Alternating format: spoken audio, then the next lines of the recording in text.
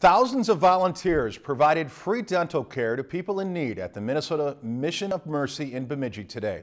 Jamil Donath explains how this two-day event is treating vulnerable populations and raising awareness about barriers to dental care.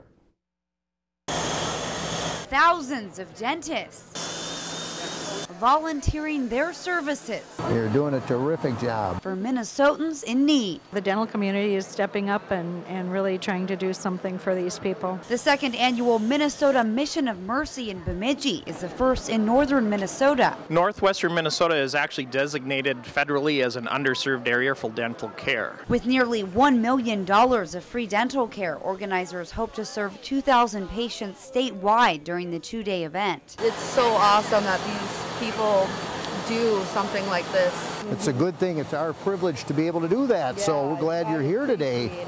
Patients came for cleanings, fillings, extractions, partial dentures, even root canals. So far I've had two cavities filled. I don't have any insurance and it's very cost prohibitive for me. It changes, literally changes so many people's lives. While providing care to patients, Mission of Mercy's goal is also to raise awareness about the lack of funding for low-income disabled and elderly populations in Minnesota. The state has some plans that uh, make access very difficult for patients. And the barriers of care aren't just to the patients, but also the providers. Public assistance patients, the reimbursement is not enough even to cover the overhead of the care, and 80% plus of dentists are private uh, small business owners. Ultimately, the mission of Mercy is to ensure every Minnesotan has access to dental care. Hopefully, uh, uh, that'll change someday, uh, that there won't be such a need. A world where anyone can afford a smile.